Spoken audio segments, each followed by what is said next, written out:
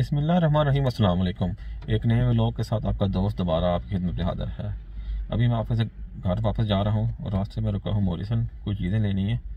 और यकदम एक तूफ़ान सा आया है। अभी आपको दिखाते हैं कैसे ज़्यादा बारी हो रही है यहाँ पे।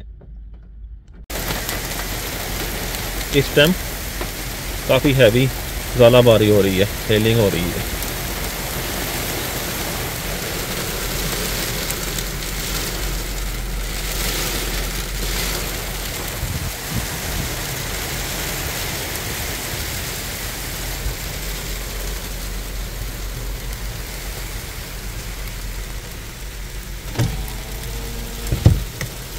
मुझे खिड़की बंद करने पड़ रही है। क्योंकि अंदर आना शुरू हो गए थे।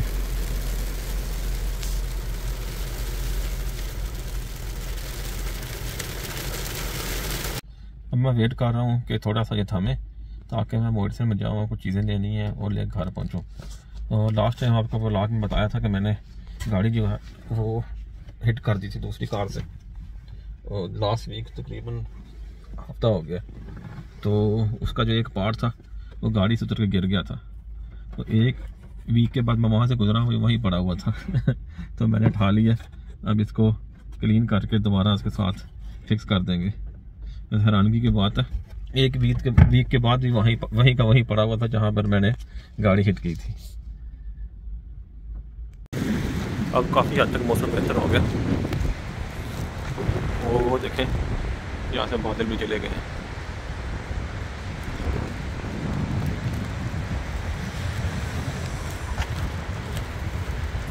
अभी मैं घर पहुँच गया हूँ। ये देखें, इस हिस्से में बादल नहीं है। और जैसे ही आप इस तरफ़ देखेंगे, घने बादल हैं। ये लगता है कि वापस मुड़ के आ रहे हैं। तो ये बारी जो प्लांट्स हैं फ्रूट प्लांट उनके लिए अच्छी नहीं है, क्योंकि उन पर भी फूल लगे हुए हैं, फल के लिए। वो इन बारी की वजह से जड़ जाते हैं जिस वजह से फल नहीं लगता।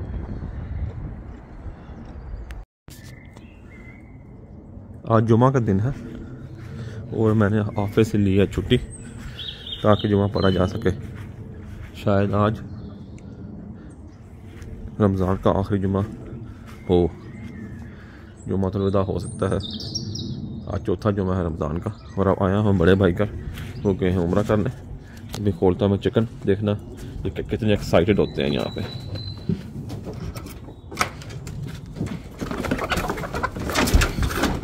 अभी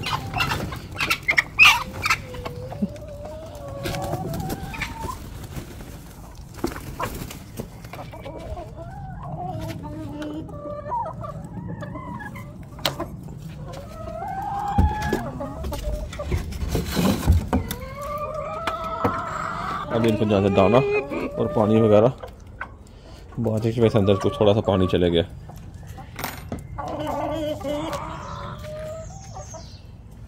और माशाल्लाह, काफ़ी ज़्यादा अंडे दिए हैं चिकन में।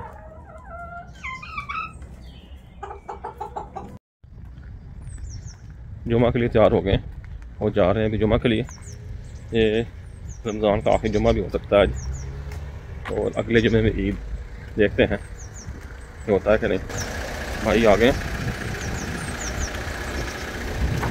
सारे कट्टे जाएँगे। बाहर नहीं जाना?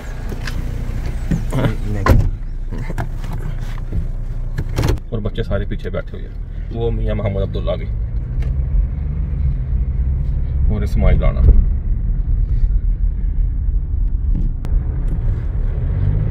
मौसम कल से बेहतर नहीं हो रहा। बारिश पे बारिश हो रही है। जुमा पढ़ के हम वापस जा रहे हैं। और जो सात है वहाँ से हमने कुछ चीज़ें भी ली हैं।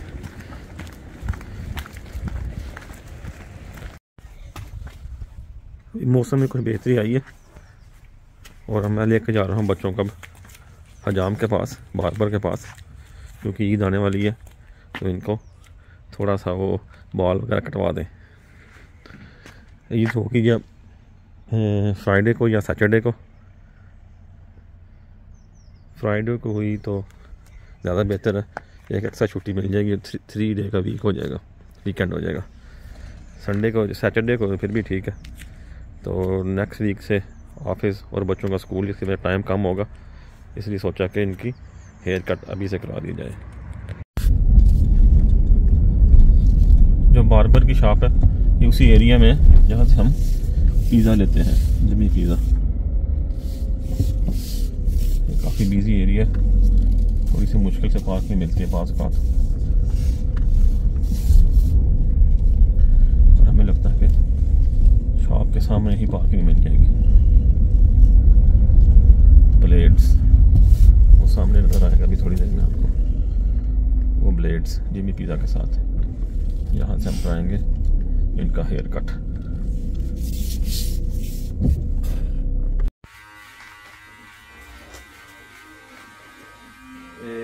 tre bजे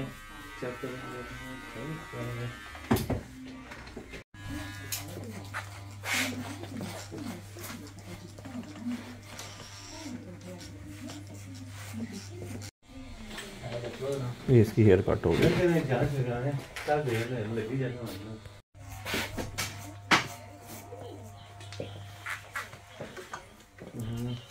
ये स्माइल के बाल कट गए शक्ल चेंज होगी गई स्माइल की बाल कटवा के। बाल कटवाने के बाद मैं और स्माइल आगे से मोरिसन वहाँ से स्माइल ने कुछ लेनी थी चीज़ें। नेक्स्ट वीक लंच के लिए, क्योंकि नेक्स्ट वीक के स्माइल का स्कूल खुल रहा है। और साथ ही स्माइल जो चीज़ें ली उससे एक्सरसाइज भी कर रहा है।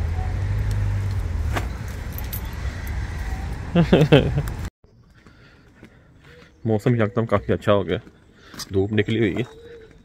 अभी मैं जा रहा हूँ। तला को ट्यूटर से लेने। वो ट्यूटर पे गया हुआ है पढ़ने के लिए। और ये जो पार्ट, गाड़ी का, जो उतरा था, वो मैंने थोड़ा सा इसको सेट किया।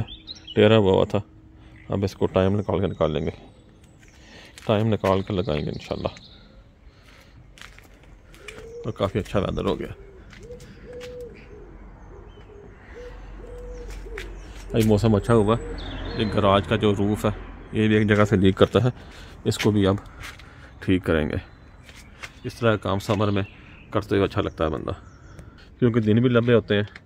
और धूप वगैरह भी निकलती है, जिसकी वजह से आप आराम से काम कर सकते हैं। सर्दियों में तो चार बजे अंधेरा शुरू हो जाता है और अंधेरे में तो जो बाहर वाले काम है, इतनी आसानी से किए जा सकते। हैं और ये आज डिलीवरी भी आ गई है। मैंने कुछ छोटे छोटे से जो स्क्रू, प्लास्टिक स्क्रू ऑर्डर किए थे बोनट को लगाने के लिए, वो आ गए। जब जब गाड़ी मेरी हिट हुई थी, ये जो थे वो बोनट उखड़ने की वजह से उड़ गए थे। अब ये भी सेट करेंगे इन ये बड़ी मुनासिब कीमत से ई से मुझे मिल गए थे। तकरीबन दो या ढाई पौंड के दस हैं ये। ये कुछ दिन पहले जो हमने बीज फेंका था, इसका अच्छा रिज़ल्ट निकल रहा है। ये रेडिश, ये भी रेडिश है। और ये शायद लेटस है। कुकम्बर और टमाटो में से कुछ नहीं निकला और ना ही ये कोरिएंडर से। अभी थोड़े से बड़े होते हैं तो इनको शिफ्ट करेंगे किसी क्यारी में ताकि बड़े फूलें ये। अभी थोड़ी देर में रोज़ा भी खुलने वाला है। और ये देखें कितना अच्छा मौसम हो रहा है। उम्मीद करते हैं कि आज का ब्लॉग आपको अच्छा लगा होगा। लाइक और शेयर लाजमी कीजिएगा। इजाज़त दीजिए अल्लाह हाफिज़।